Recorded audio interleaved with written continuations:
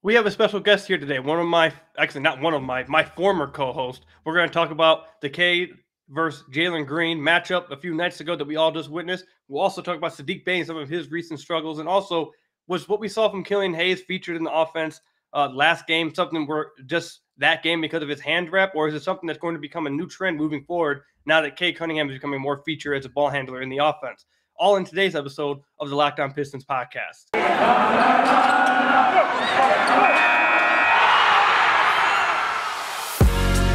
You are Locked On Pistons, your daily Detroit Pistons podcast, part of the Locked On Podcast Network. Your team every day. Welcome back to another episode of the Locked On Pistons podcast. This episode is brought to you by McDonald's, proudly serving communities since 1965. McDonald's has always been more than just a place to get tasty, affordable food. It's an unofficial community center. A big thank you to our friends over at McDonald's for always being there. I'm loving it. Per usual, I'm your host, Ku Khahil. You can find me over on Twitter at Ku Khahil. You can find the podcast over on YouTube. Now we are been over there for about a month now, I believe. Go hit the subscribe button over there if you haven't already. Even if you don't like watching it on YouTube, just simply go support the podcast. Go over there, hit the subscribe button. I'd really appreciate it. And we're also on every podcast platform. Thank you for making Locked On Pistons your first listen every single day. Again, we are free and available on all your podcast platforms. So today, today's episode, like I said, we're gonna be talking about the Cade Cunningham versus Jalen Green. Uh, not Jalen Green. Why do I've called him Jalen Green twice now? We gotta keep it going with the Clarence Green joke. More and more people are starting to get it. You guys were commenting on my last video asking, "Who the hell is Clarence Green? Why do you keep calling him that?" Uh, a lot of you guys started to explain all of them. It's starting to catch up more and more. I'm telling you, I'm start, starting to see all kinds of fans call him it. Uh, but let me introduce you guys to our guest today. He was my former co-host over at Hashtag Pistons. A lot of you guys who suggested me for this podcast when the opportunity arose said that you know I like listening to Ku over there at Hashtag Pistons. So you guys will probably know who it is if you were previously listening to me. This is my friend Joe Truck. Joe, how you doing, man? First time on the podcast. I know you've been wanting to get on for a minute. How you feeling, man? I'm feeling great. Happy to be here. I'm real excited to be recording with you. It's been a while. Uh, so yeah, I'm ready to I'm ready to dive right into it. and that we're gonna do that. We're gonna dive right into it. So the Pistons, like I said, just talk or not just talk, but just played the Houston Rockets a few days ago. Went obviously against Clarence Green, the number two overall pick, number one and number two overall pick for the first time this season, over on a national televised game where the Pistons had only won one game, I believe, in the last four or five years. Uh, Joe, just what were your immediate takeaways from from the game? Did you have fun in watching the game? Uh, I know there was a little bit back and forth between Jalen Green or Clarence Green. My bad. I gotta keep it going. Clarence Green and Cade Cunningham. Uh, I, I, don't know if I would call it necessarily going back and forth, but more so him going at Cade. Cade kind of going back at him after the game with some Instagram posts and and a quote talking about you know he thought it was all for cameras. Just what were your immediate takeaways from that game? Um, I mean, it's it is kind of interesting that there there is I think there is a genuine thing between those two guys. Uh, really, there's probably more of a thing with Clarence than there is with uh, with Cade. Like, I'm not sure that Cade cares that much about it, but he definitely did, you know, take a t- couple subtle shots about it after yeah. the game and the post game, saying it was all for the cameras, and then his Instagram post and stuff. So uh, it is just kind of interesting because you know, you don't see a lot of that in today's NBA. I mean, it's a thing that especially old heads complain about all the time how all the players today are all buddy buddy and they all are good friends. But there really is a thing with these two guys. I think there's no way around it. And uh yeah, I think for the for the actual game, I mean, first off, it was really nice to win. Um, you know, I mean, the Pistons have two wins. They're over the Magic and the Rockets, so two other really terrible teams. But at the very least, it's nice that like you know, against other teams that are also, you know, similarly as young as the Pistons are and sort of in that same trajectory that they've beaten them both in in both games they looked pretty good. The one thing that was nice about this one is the young guys played more because against the Magic, a lot of the vets played pretty long stretches, which was, you know, that's not that that's not as much fun. Uh, but yeah, I mean, you know, the real thing with Clarence is like I don't trust any hoopers that care way too much about their hair. Like dudes that what what great NBA players clearly care too much about their hair. And I'm not talking like, you know, Allen Iverson had cornrows, but that was just his thing. He wore those all the time, right? Like that's not cares too much about his hair. It's just like that's just how he does his hair. Like Ben would have the fro, but then he'd also do cornrows. That's just that's just how he did his hair. But like Michael Jordan, dude just went bald eventually. Kobe just went straight bald. LeBron fought the balding for a little bit, but eventually he just gave up. Dwyane Wade, he just went bald. Like Tim Duncan, he never did anything with his hair till he retired. All of the greats don't care about their hair. That man cares too much about his hair, and I just I can't get behind any any hoopers that care too much about their hair. Like really clearly, like he he must have like four or five different conditioners because it just it's got volume, you know. Like I just I can't trust that. If you're out on the court worrying about how your hair looks and making sure it's got the right voluptuousness, can't be behind that dude. And that's the real takeaway for me is that Cade, you know, he's got a little bit, he's got a little something going on, but he's not, he clearly isn't too worried about it. He's just like, this is my hair, uh, but I'm here to play basketball, not to model for a fashion shoot here. Fair enough, fair enough. I did make some subtle jokes at, at Clarence as well last on the last podcast talking about how he looks like he'd be acting like my fiance in the mirror, taking taking selfies nonstop uh, was what he'd be doing. Uh, but yeah, I think it was obviously fun to get a win versus the versus the Rockets. Like you said, another bad team, uh, but the Pistons, you know, they they haven't necessarily had an easy schedule at all so far. They've played multiple contenders twice, uh, Milwaukee once. Like it's been it's been a really tough schedule for the Pistons. So you know, the fact that they were able to take care of business and the two times that they actually did go against someone who, I mean, I guess you would call a winnable game. Um, it, it, it's good to see. Um, from from the matchup between Cade and Clarence, um, I I thought Cade played really well. Um, he was he played efficient. This is probably his most not probably his it was his most efficient game of the season. Uh, and, and, I didn't really see anything different from him. I saw him creating the same type of looks for himself, still getting the same type of space he he was getting the first however many games he played. I believe it was three, three, four games.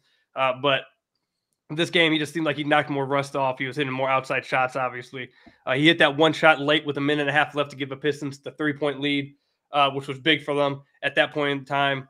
Uh, and yeah, and after Clarence got that dunk in against a high school press, I don't he didn't score again uh, after that. So you know all that screaming was for nothing. But uh, yeah, I, I, thought it was a fun matchup. Obviously, like you said, old heads have been asking for. I think a lot of us around my age, or our age, you know, I think we would like to see some more of that too. Not you know, not so much like complaining about nonstop, I guess, as old heads do. But I mean, it's fun when you have rivalries like that. It's fun to watch that happen.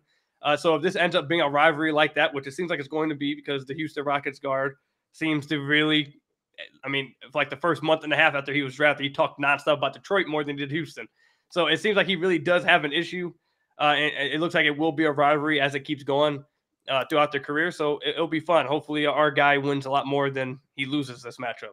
You got you got any other things you want to point out real quick before we move yeah, on? Yeah, I mean, just jokes aside, it's also fun because they both really do look like they're going to be. I mean, Cade, I really am. Uh, I'm all the way in on him. I think he looks great. It was really nice to see him get some three point shots to fall because obviously we know that being a good shooter is going to be an important part of his game because uh, I think some a lot of people, and you know, you could even say me, are maybe a little over concerned about the fact that he's not a super explosive athlete, but clearly he's not going to dominate games with his athleticism. So finding his shot is going to be an important part of him becoming effective.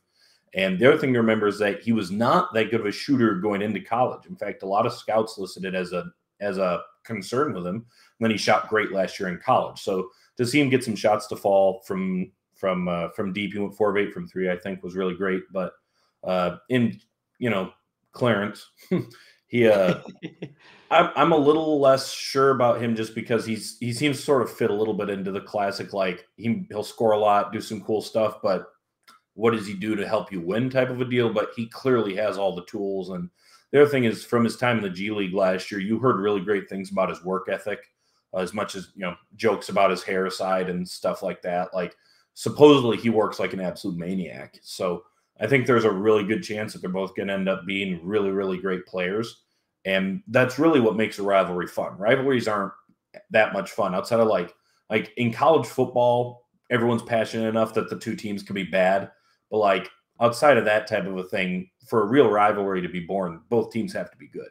Or in this case, both players have to be good. And I think that both players have a real chance to be uh, really excellent. And it was fun to watch last night. Um, and obviously, it was particularly fun because uh, we won.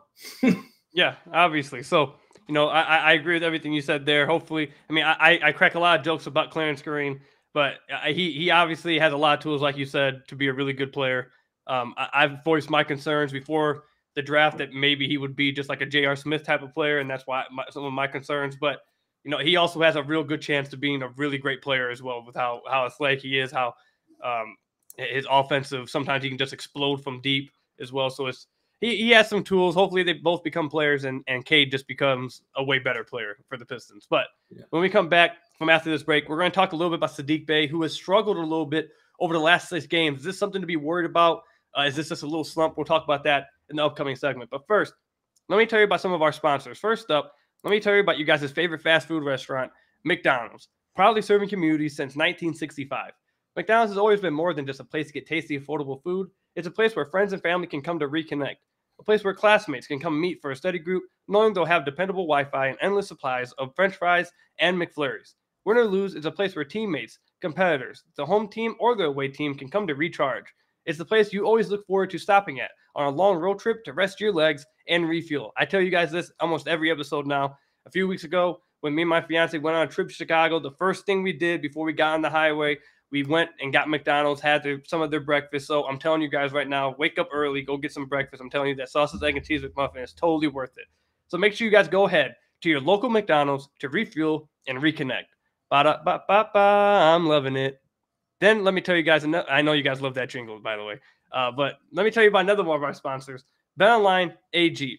We're back and better than ever. A new web interface for the start of the basketball season and more props, odds, and lines than ever before. BetOnline remains your number one spot for all the basketball and football action this season. Head to our new updated desktop or mobile website to sign up today and receive your 50% welcome bonus on your first deposit. Just use our promo code locked on to receive your bonus. Yes, that's promo code locked on from basketball, football, NHL, boxing, and UFC right to your favorite Vegas casino games. Don't wait to take advantage of all the amazing offers available for the 2021 season. BetOnline is also the fastest and easiest way to bet on all your favorite sports. BetOnline, where the game starts. So Joe, I know I know when, you know, we we did a podcast together back in the we didn't do we didn't do stuff like that. How, how, how do you think my ad reads are, man? Uh, they're impeccable. Every time I'm at work and I hear you advertise for McDonald's, every time I think, man, I wish I didn't start work at four in the morning because I really wish I could have gotten some McDonald's on my way here. But you know, work shortages and stuff. The McDonald's on my way to work, they're never open. There's like been one time that they were, and I got admit went in there, got myself a McMuffin, hash brown. Can't can't top it for breakfast. There you go. There you go. Joe knows. But uh, before we get into the segment, let me tell you guys again thank you for making Lockdown On Pistons your first listen of every single day. We are free and available on all your podcast platforms. And make sure you guys go to YouTube, subscribe to the channel. Even if you guys don't like watching it on YouTube, again, we are trying to get to a thousand subscribers. We're trying to upgrade the podcast. So if you just love the podcast, you want to support us, an easy way by doing that is simply go to our YouTube, Lockdown On Pistons, and hit the subscribe button. We'd really appreciate it. Trying to hit that 1K by the end of the year. Uh, we're sitting around, I think right now we just crossed over 450 subscribers. So we're doing a pretty good job. Let's keep it going. Go hit the subscribe button if you haven't already. But Joe, let's talk about Saddiq Bey a little bit. So all my listeners know that throughout the offseason, I talked, I, I was very critical of Saddiq Bey. I thought he was working on the wrong things. Uh, I didn't really like him working on outside things. I, I wanted him to just, you know, try to develop his three and D game and, and, and try to, you know, maximize that. Obviously, they, they wanted him to try to spread out his game a little bit.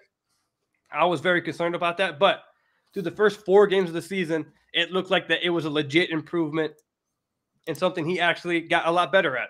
Um, then after that, the last six games, it's been really tough for Saddiq though.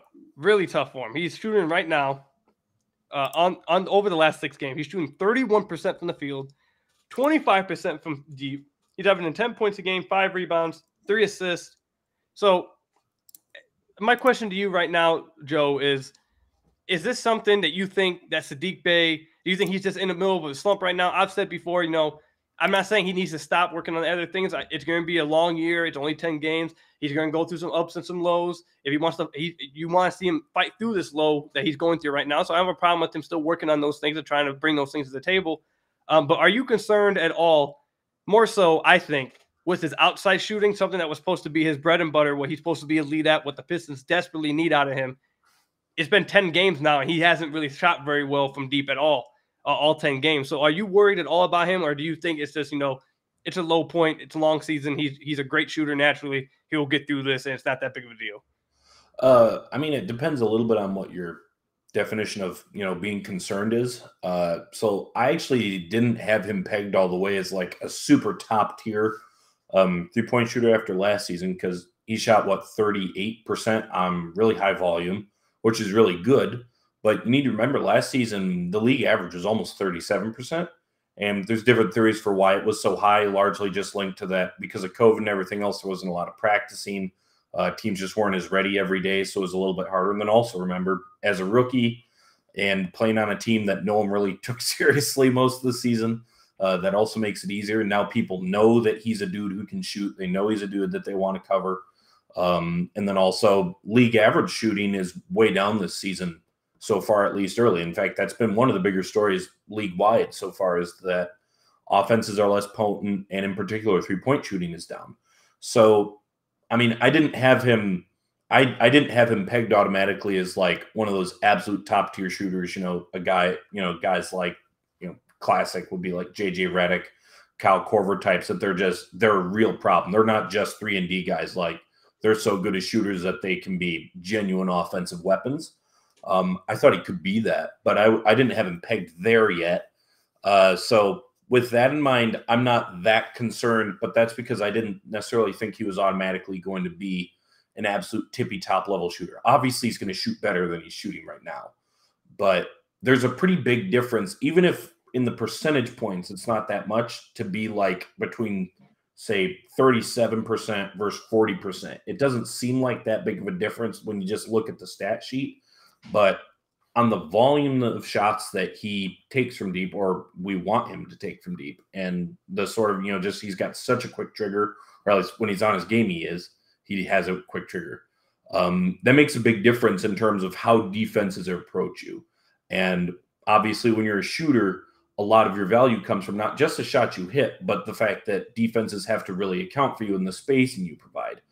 And so there it'll I'm interested to see where he ends up if he ends up being just a good shooter so that he's a guy that defenses obviously have to guard or if he can reach that level of being like a really elite shooter that isn't just a guy you can't leave alone but like as a guy you have to game plan around because of his ability to shoot.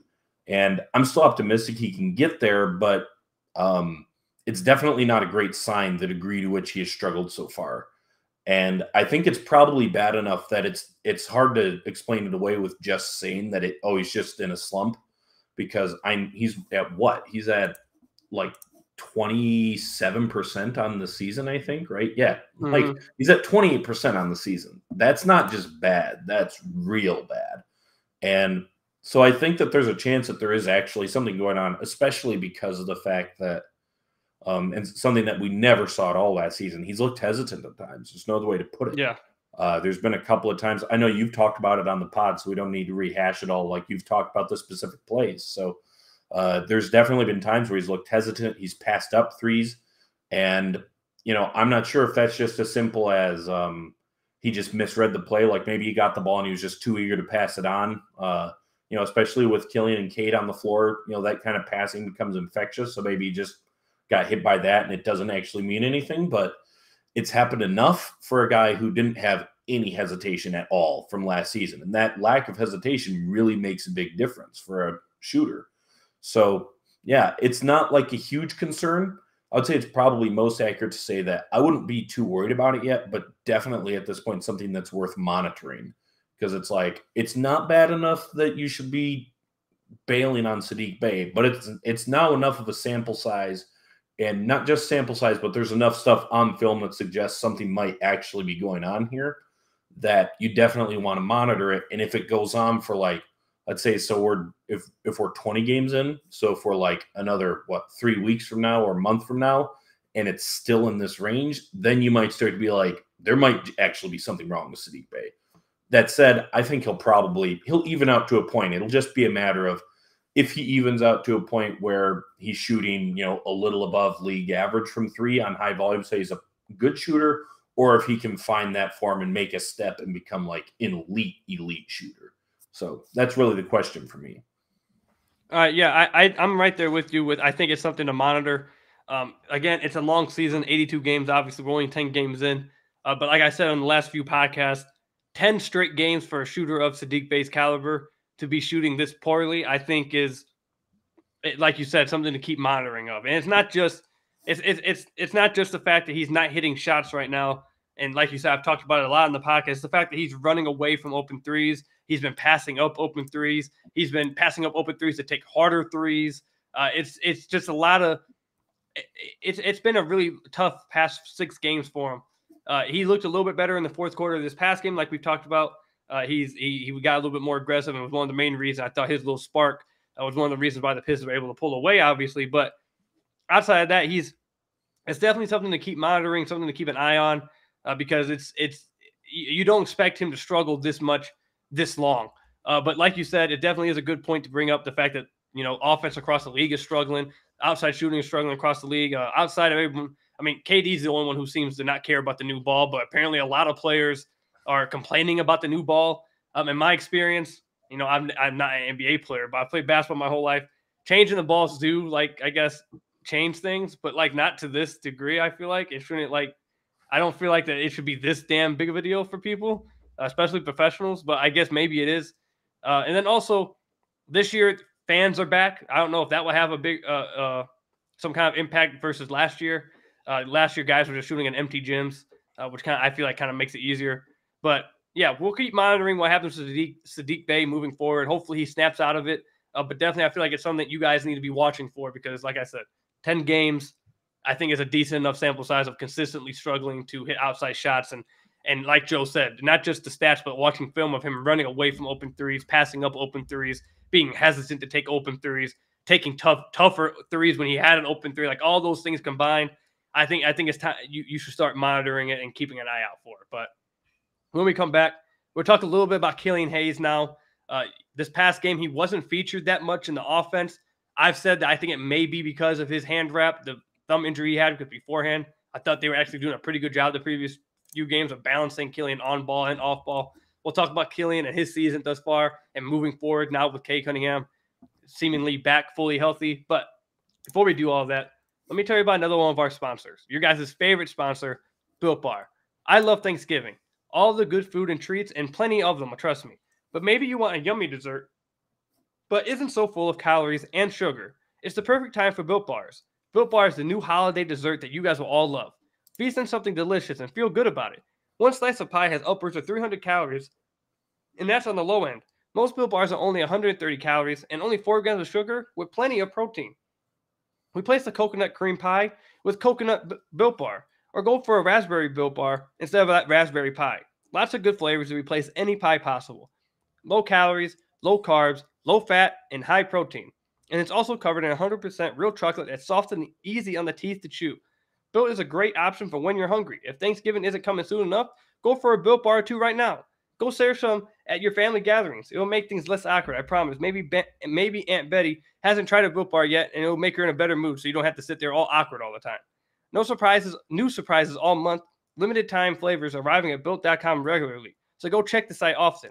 And there's also nothing like a Built Built Bar Black Friday. Mark your calendars. Black Friday will be a huge event with all sorts of surprises. So go to built, built.com, use promo code LOCK15, and you'll get 15% off your order. That's go to built.com and use promo code LOCK15, you'll get 15% off your order.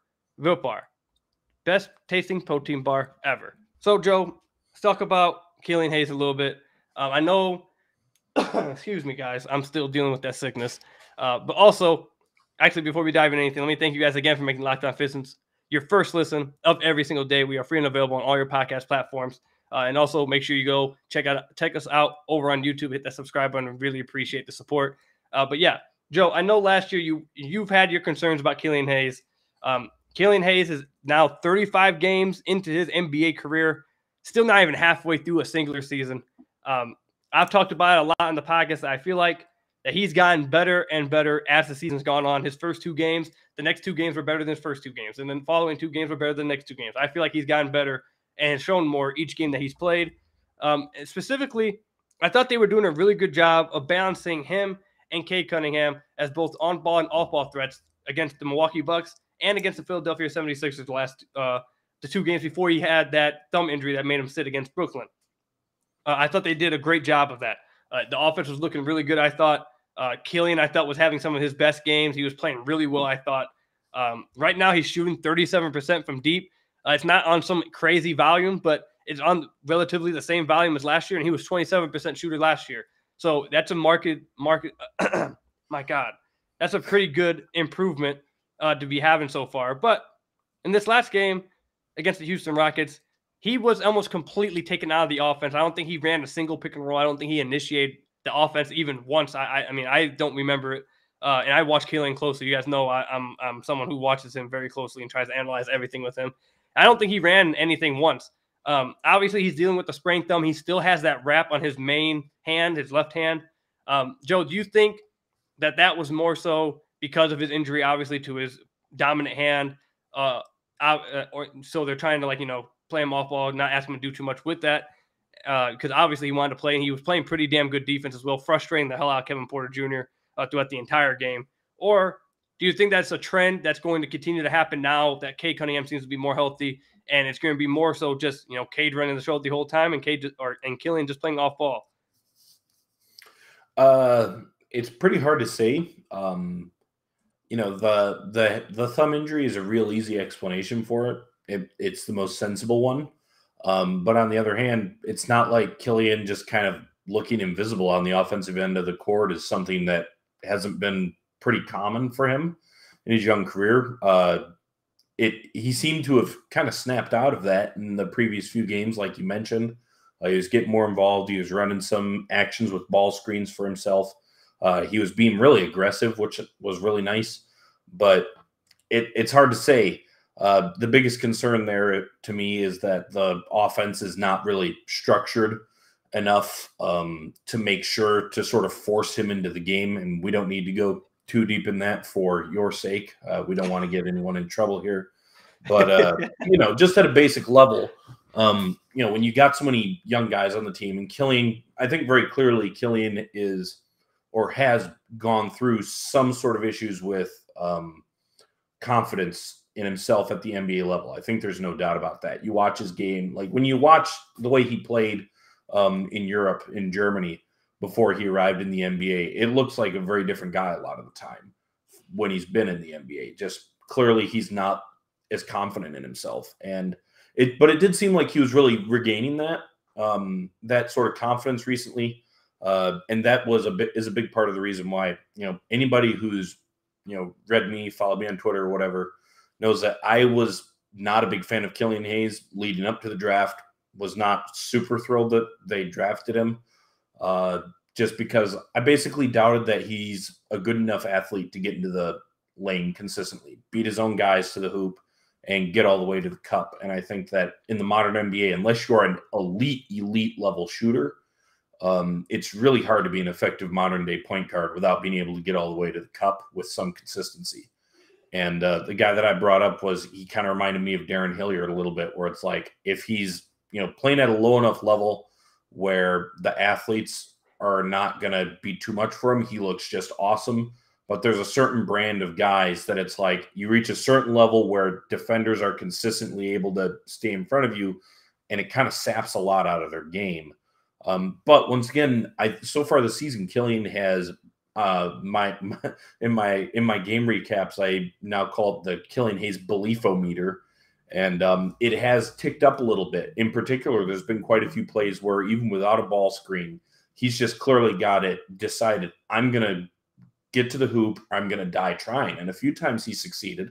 A few times he has died trying. But at the very least i love the fact that he's kind of getting the mindset of you know it i may fail but nothing good is going to come from me just faffing about and not being involved in the offense. You know, nothing's going to happen unless I try to force this issue. And I'm really glad that he has done some of that. So I would lean towards with this Houston game that it's just the thumb, uh, just because he really had been showing that um, he, he really seemed like he had been breaking out of that. And then obviously he didn't play in, in the previous game against Brooklyn. Um, and also, like you said, he really played great defense. So it's not like he was. It, it didn't seem like he was totally out of the game, or like his head wasn't in the game, or he wasn't playing hard or anything like that. And there have been a couple of times I felt like um, he's almost gotten lost on defense because he's been so uninvolved in the offense.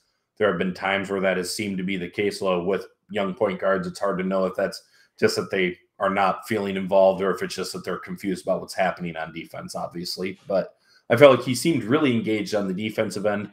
And so I wouldn't be shocked if it was just like, yeah, because of his thumb, he maybe can't really shoot or dribble comfortably. But obviously, you know, you don't necessarily need to be able to use your thumb to play really good defense. You know, you just you move your feet and stuff, and he's obviously long. Uh, so I wouldn't be shocked if that's what it is, and that would be my guess. But when you've got off to the start to your career that Killian Hayes has, there's no way that every single time that one of these games happens, even if there is an easy explanation, it'll still be a little bit uncomfortable just because, you know, he definitely has shown that it's a bugaboo for him. So I'm really rooting for him hard, though, because he just, I love the fit of him and Cade. I think people that are concerned about the fit with those two, um, I actually, that's now one of my things that if you think Killian and Cade are a bad fit together, that's a sign that you're not a serious person, quite frankly. Like, well, okay, so here's the thing, right? The main thing people say is, well, Killian is not a good shooter. And now, first off, worth mentioning, he shot okay this year, like you mentioned. But the thing is, if Killian can't shoot, he won't fit with Cade, not because he can't fit with Cade. He won't fit with Cade because he's going to be a crappy NBA player. Like, let's just be realistic about that. If Killian can't shoot at be at least like a league average shooter, he's not an NBA starter. He's not athletic enough to be a guy who just dominates in the paint um, so if he's not at least a league average shooter, he's not an NBA starter. So then you don't worry about it. But if he can be a decent shooter, they're going to be a great fit. They're versatile defensively, uh, which we've already seen that. And this is something you talked about. In, the, in fact, I think actually you brought up my tweet on the pod a few days ago, talking about that, you know, having two guys on the floor as big as they are with the vision that they have and the ball handling that they have, it's just powerful. There's no other way to put it. Um, I'm like, you th- I think almost back to the, I, they're not this good, obviously, but you think back to like the Heatles, and it's like before Dwyane Wade's knees started to really go out on him. I just having LeBron and Dwyane Wade, two guys that also ostensibly did not necessarily fit that well because Dwyane Wade is a non-shooter, LeBron's not a great shooter, which is like just having two awesome playmakers who are both big for their positions see the whole floor and are just really high basketball IQ guys. It's just a really, really powerful thing to have. And um, you know, we'll see if I'm I'm confident Cade's gonna come close to his upside. I have no idea if Killian's gonna hit his upside or if he's gonna end up just being uh, he's a good enough defender that he's pretty much cemented. He'll be at least a decent backup for a long time because at the very least he can defend and guards, you know, multi-positional defenders, they stay in the league, simply put. I mean, David Nwaba's on team every single summer. So, you know, if he can stick around, Killian can stick around. But so I have no idea if he'll reach that peak, but it's like a good version of Killian Hayes is an excellent fit with Cade, in particular because the main concern with Killian is like, can he be that real fulcrum of the offense without being a consistent penetrator into the defense? And it's like, you've got Cade Cunningham on your team, then you don't need to be the consistent penetrator of the defense. You don't need to line up and run a thousand pick and rolls and take guys off the dribble all the time. You can do a lot of your act your work off of reacting defenses, defenses that are reacting to stuff that Cade can do. And we've already seen that Cade is fully capable of um, penetrating opposing defenses.